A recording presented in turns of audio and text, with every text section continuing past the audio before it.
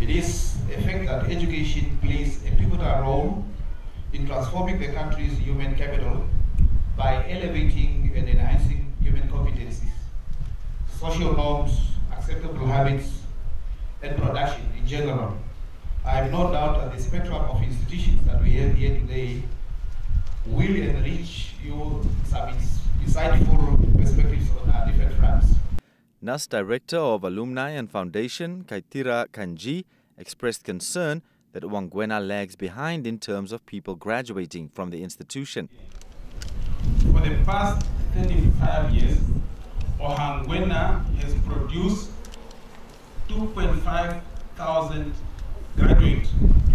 2,500. Don't clap hands, don't clap hands, it's not good. Imagine it.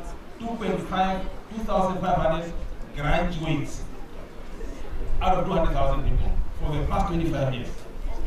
Now, students can gather information about specific roles, jobs, responsibility, required qualification, average salary, and career progression path, especially for career that are not common, such as cyber security.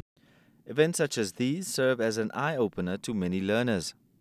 There's different stalls giving us information on university and stuff, and it's really helpful because at my age, I'm really confused of what career I want to choose. Basically, what's in my mind now is that as long as I get a job, as long as I'm making money. But sometimes you don't even feel passionate about what you're making money from.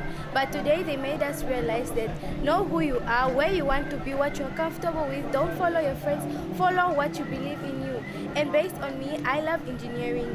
This year, the NUST Career Fair attracted close to 19 schools and a combined number of learners of 555. Institutions of higher education, including the IUM, UNAM, Eenhana VTC, and iCare, were among the exhibitors. The career fair was made possible through Metropolitan Namibia's community service commitment.